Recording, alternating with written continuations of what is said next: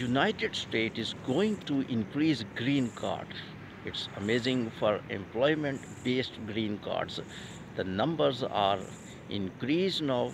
Good chance for Indians and Chinese people to get more green cards.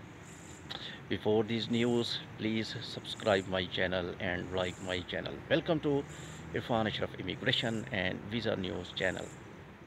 United States has limitation of number of green cards. They don't issue unlimited green cards. But this year their numbers are increased 1.8 million green cards will be given this year. This number is telling that most of the Indians who are doing jobs has work authorization and EAD in the USA and they will get the benefit.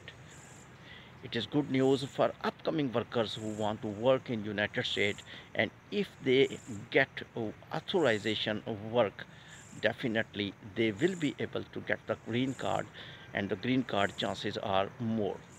It's also good news for the people who are currently working in United States and they are waiting for green card applications. The green card is the card by which you can permanently live in United States. I mean that is the passport of the USA.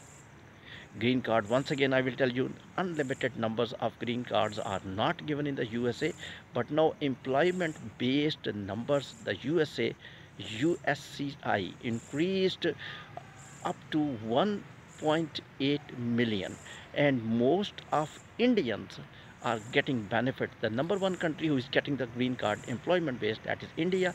The second country who is getting employment based green card that is the Chinese. So these two countries people good luck to you and God could benefit this year as well.